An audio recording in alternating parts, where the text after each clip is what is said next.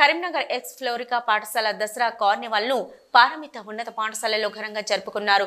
ఈ సందర్భంగా పాఠశాల విద్యార్థినిలు సంప్రదాయ దుస్తులు ధరించి సృజనాత్మక నైపుణ్యంతో వివిధ రకాల పూలతో పోటాపోటీగా బతుకమ్మలను పేర్చి అలంకరించారు.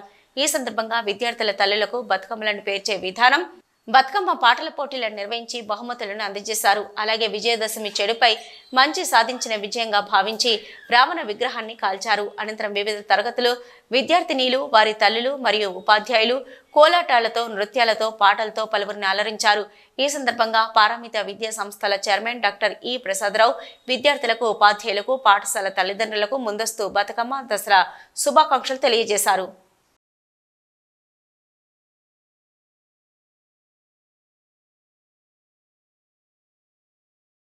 పారమిత ఎక్స్ప్లోరిక దసరా సంబరాలు ఇక్కడ జరుపుకోవడం అందరినీ తల్లిదండ్రులను కూడా ఆహ్వానించడం జరిగింది.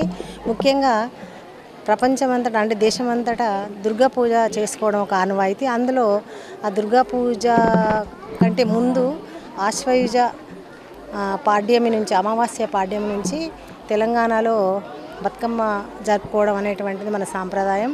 ఈ బతుకమ్మ అనేటువంటిది జనపదాల్లో నుంచి గ్రామాల గ్రామాల్లో ఉన్నటువంటి బీద ప్రజల దగ్గర నుంచి చాలా కాలం నుంచి అంటే కాకతీయుల కాలం నుంచి కూడా వాళ్ళలో ఉన్నటువంటి కష్టాలను తమ పాటల రూపంలో వాళ్ళు అంటే ఒక దగ్గర చేరి కొంచెం అంటే ఒకరికొకరు వాళ్ళు అంటే వాళ్ళు పంచుకోవడం అనేటువంటిది ఆనవాయితీగా అదే మనకు కొత్త పుంతలు తొక్కుతూ ఈ రకంగా ఈ మార్పు ఇప్పటి వరకు జరుగుతూ వస్తున్నది.